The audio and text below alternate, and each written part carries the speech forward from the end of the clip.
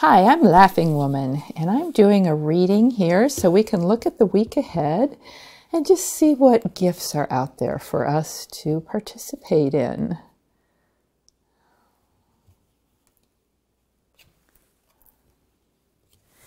The first card is one of air, inspiration. What a wonderful way to start the week. And the second card is ten of air, repetition.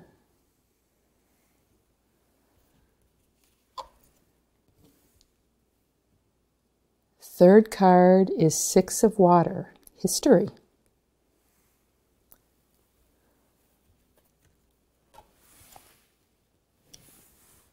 The fourth card is Major 21, wholeness.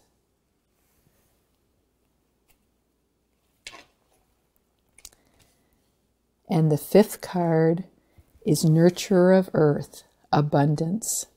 What a delightful week we're heading into here. We begin the week being inspired. This may be by something new, but because repetition follows inspiration, it's probably by something that we've already done, and we're re inspiring ourselves with this. We're enjoying it again. And that idea is reinforced by the middle of the week being full of history.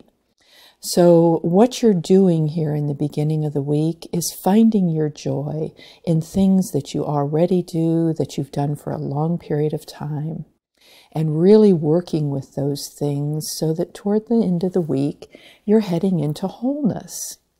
And this tells me this is not healing. I want you un- to understand that. This isn't taking care of problems from the past. This is repeating history that we've enjoyed and that works for us and that truly supports our wholeness. And from wholeness, we move into abundance.